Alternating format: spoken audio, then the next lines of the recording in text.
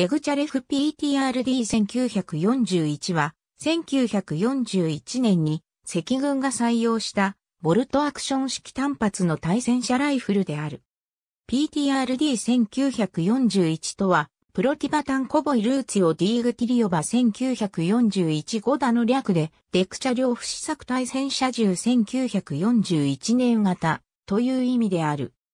はロシア語の発音に沿って表記すれば、デクチャ両不となるが、日本語文献では、慣習的に英語転化表記の発音が混じった形で、デグチャレフと表記されることが通例である。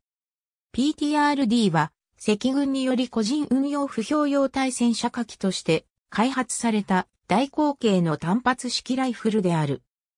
赤軍のほか、赤軍指揮下のポーランド人民軍やドイツ占領下の東欧のパルチザン組織にも供給されたほか、ドイツ軍にも大量に六角され、ドイツ軍では 14.5mm PZ B783 のイの分類コード名を与えて使用した。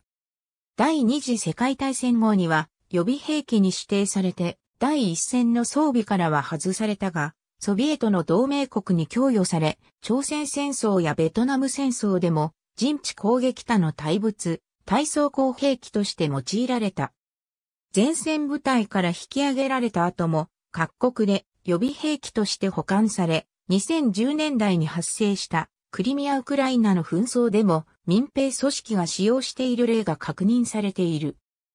日本においては国連軍が露獲したものが陸上自衛隊の東千歳駐屯地下の資料室において展示されているほか、民間業者がコレクション用に無稼働化して販売した例もあり、実際に銃として用いることはできないながら、実物を所有しているコレクターが存在している。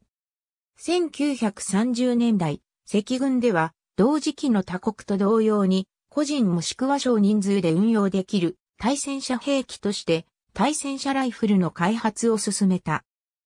しかし、当時の赤軍で正式採用されていた不評価機の中で最大口径である 12.7X108mm 弾では戦車に対しては威力不足であると結論されたため、口径及び使用弾薬をはじめとしてその方向性がなかなか定まらず、高価で複雑なものとなっても、連発可能な自動火器とするか、あるいは単純かつ安価な単発式とするかで方針が固まらなかった。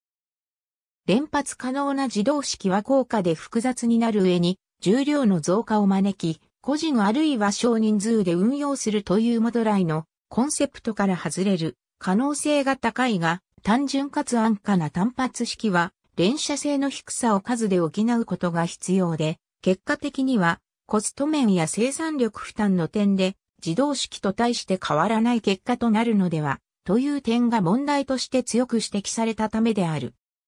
また、戦車の走行を貫通できるほどの威力を持つ弾薬は、当然ながら、発射反動が大きく、これを発射する銃は一定の負担が大きく過大なものとなるという懸念も強く出されていた。これを踏まえ、10種類を超えるものが試作されて、検討されたものの、軍の期待する大威力で動作が確実、かつ可能な限り軽量なものという点が満たせるものが開発できず、正式採用されたものはなく、本格生産と大規模な部隊配備は行われていなかった。1938年11月9日に、ガウから出された新たな携帯戦車火器に対する要求に基づき、暫定的なものとして、ドイツのマウザー M1918 を 12.7X108mm 弾仕様に変更し、マズルブレーキと干渉装置付き重傷を追加したショロホフ対戦車ライフルが開発された。さらに使用弾薬として 14.5X114mm 弾が選定され、上記の試作開発の実績に基づいて、これを使用する5連発半自動式のルカビッシュニコフ PTR-39 が開発され、1939年10月に正式採用されたが、PTR-39 は機械的信頼性が低い上、我が国で開発された T-34 や kV-1 と同程度の走行を持つ戦車が他国でも開発されているであろうことを考えると、現時点でも威力不足であるとして1940年8月には正式採用は取り消され、わずか30丁が生産されたのみに終わった。このように、赤軍内では対戦車ライフルに対してその有効性に疑問が持たれていたが、1939年のポーランド侵攻に際して、ポーランド軍の使用した WZ35-7.92X107mm 対戦車ライフルがかなりの威力を示したことから、対戦車ライフルに対する再評価が行われ、小規模ながら開発計画の再開が行われることとなった。1941年、ドイツ軍の侵攻により大祖国戦争が勃発すると、急遽対戦車ライフルの大量装備が決定され、可能な限り迅速な実用化と量産が命じられた。当初はドイツ軍から露獲した PZB39 追戦車ライフルを使用弾薬の 7.92X94 パトア318弾と共にフルコピーすることが計画され、少数の試作生産も行われたが、最終的には、赤軍内での開発計画の実績をもとに、単発手動式の本重とガス圧作動方式連発自動式の下の FPTRS1941 の2種類が選定されて採用された。連発自動式と単発手動式のものが並行して採用されたのは、連発自動式は試作の段階で問題を発生させるものが多かったために、連発自動式のみを開発、生産していると情勢に間に合わないという判断がなされたためで、高度で高威力だが生産に時間がかかるものと、性能的には不十分だが可能な限り早急に実戦投入できる戦時急増型を選定することで、気球の状況に対応するという判断がなされたものである。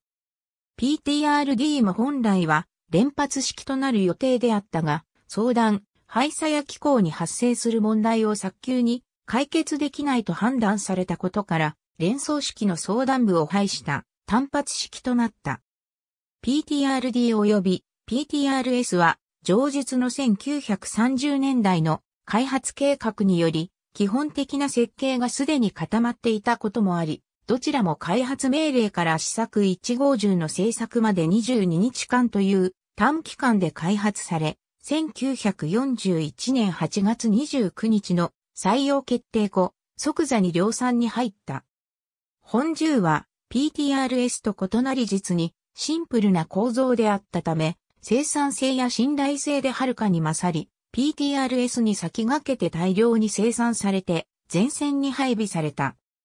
本格量産は1941年9月、下旬に開始され、同年10月までに50丁が製造されたことを、皮切りに1941年内だけでも17,600丁余りが生産され、翌1942年には184,800丁が生産された。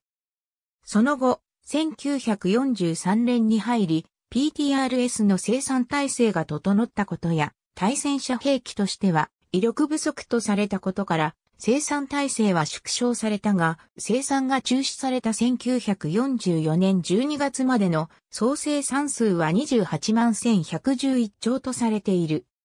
PTRD の最初の生産分は即座にモスクワを守備する部隊に送られ、1941年秋から冬にかけてのモスクワ攻防戦にて初めて実戦で使用された。